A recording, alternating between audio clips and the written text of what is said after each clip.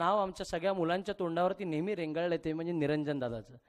जी मुलं सतत सतत बॅचमध्ये येतात त्याच्यात निरंजन दादाचं सेशन कधी असं आविर्जन विचारतं त्यामुळे निरंजन दादा आता त्यांच्या चेहऱ्यावरती किती छान स्माईल आलंय.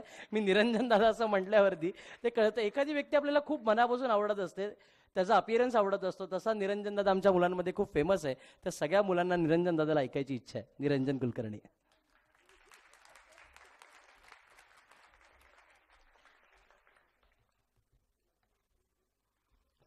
उपस्थित मान्यवर विद्यार्थ्यांचे पालक माझे बालमित्र मैत्रिणी आणि संपूर्ण गंधारच्या टीमला बालदिनाच्या खूप खूप शुभेच्छा.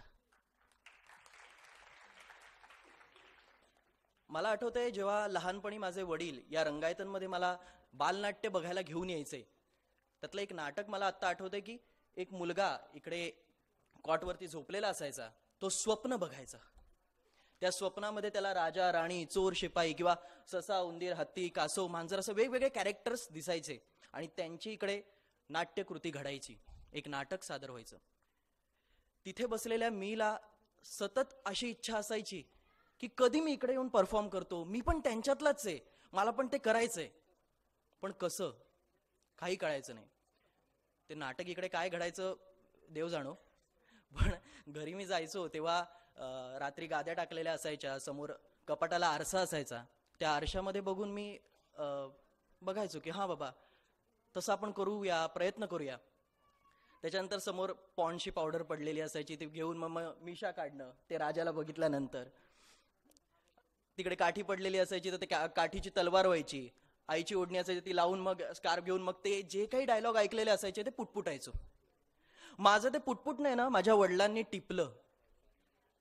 आणि त्यांनी असा विचार केला की अंबरनाथमध्ये जी कोणती अभिनयाची कार्यशाळा असेल त्याच्यामध्ये याला जाऊन दाखल करूया. माझ्या वडिलांचे खरंच मी खूप आभार मानतो की त्यांनी मला कुठल्याही सिनेमाच्या ऑडिशनला जाऊन उभं केलं नाही. कुठल्याही टी व्ही सिरियलच्या ऑडिशनला जाऊन उभं केलं नाही. त्यांना कसं काय कळलं काय माहीत नाही मला की याची सुरुवात इथून करायला पाहिजे रंगभूमीपासून करायला पाहिजे. अगदी वयाच्या सोळाव्या वर्षापर्यंत सुद्धा मी बालनाट्य करत होतो. एक वय ओलांडल्यानंतर आपल्याला वाटतं की आता बालनाट्य नको आपण जरा ऑडिशनच्या रांगेत उभं राहूया. प्रत्येकाच्या आयुष्यात एक स्टेज येते आणि इथपासून जे सुरुवात करतात त्यांना हळूहळू मार्ग मिळत जातो.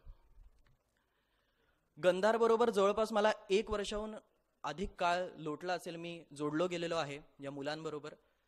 त्यांना काय आवडतं कोणास ठाऊक? पण पण मंदार सर मला दरवेळेला बोलवतात. आम्ही एक छान इथे वेगवेगळ्या प्रकारच्या ऍक्टिव्हिटीज करत असतो. जपतो आम्ही कला जपतो कलावंत. रंगभूमी आविष्कारा होऊन जातो दंग. गंधार आमची वेदना गंधार संवेदना. नटराजाच्या पायाशी या करीतो आराधना गंधार गंधार गंधार.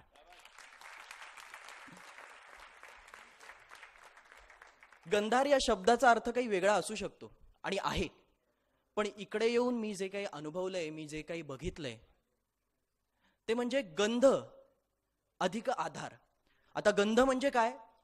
तर इथे जे कोणी तज्ज्ञ लोक येतात तुमच्या विद्यार्थ्यांना किंवा मुलांना मार्गदर्शन करतात त्यांचा अभिनयाशी असलेला गंध त्यांच्या अनुभवांचा असलेला गंध अधिक तुमच्यासारख्या पालकांचा आधार असं मिळून जे बनलेलं आहे ते म्हणजे गंधारे. तुमचा सपोर्ट तुमच्या सदिच्छा शुभेच्छा सदैव गंधार बरोबर अशाच राहू द्यात. दरवेळेला मला वाटायचं की विद्यार्थ्यांसाठी आपण सेशन घेतो तसं एकदा पालकांसाठी घ्यायला काही हरकत नाहीये. कारण चालेल?